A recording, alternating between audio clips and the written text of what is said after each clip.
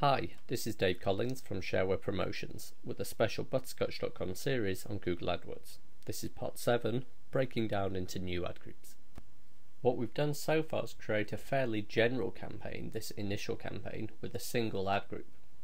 Now if we have a look at the keywords that are generating the traffic, let's sort by the number of impressions and we can then see that this particular phrase, what is Windows 7, is responsible for a great many the actual clicks within the ad group. So let's create the new ad group.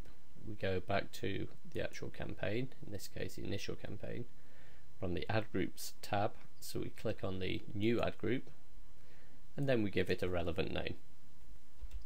Google very kindly give us some ad text and we then need to add at least one keyword to proceed any further. So for now we'll just use that one. Scroll down we're going to put the, the max CPC at the same level as the existing ad group and we're going to click on save ad group. So if we now have a look at the campaign we can see two ad groups. Right now that's not really got very much in. So let's go into ad group number one and what we're going to do is select all the keywords that we think would be a good fit for this what is Windows 7 new ad group. So we're looking for keywords that all more or less fall under that same theme.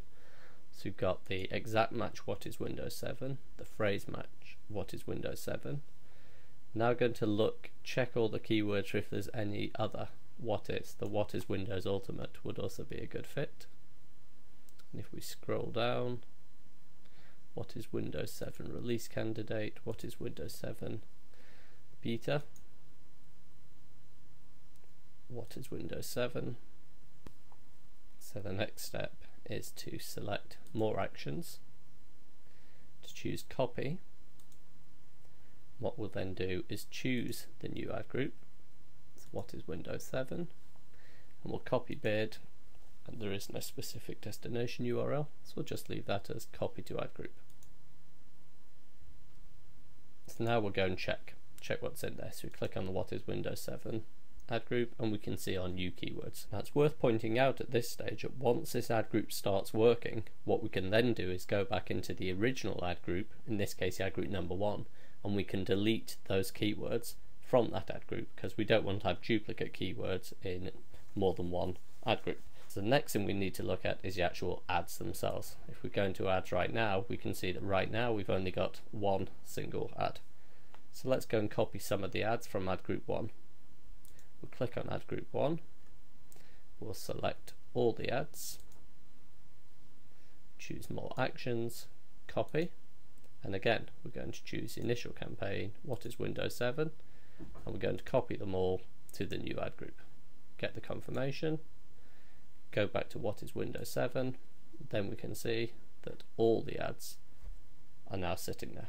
Now the first thing I notice is that when we originally took the ad while setting up the ad group from the ad group number one, that's already been approved. But as we copied everything from ad group number one, there's a duplicate. So the first thing we can do is select that ad, choose change status, delete, and get rid of that one. We'll leave the approved one there.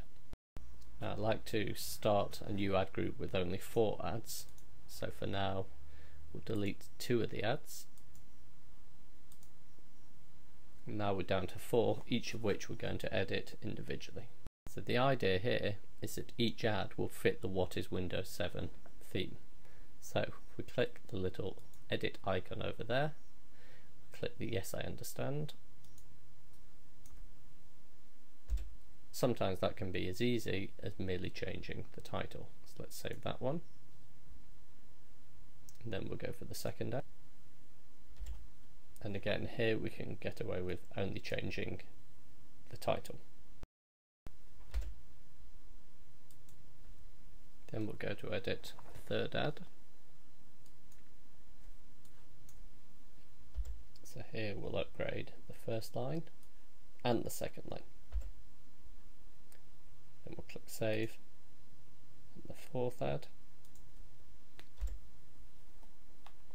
So without too much work, we have four new ads that nicely fit molded around our keywords. So all we need now is a little bit of time for the new ad group to generate data.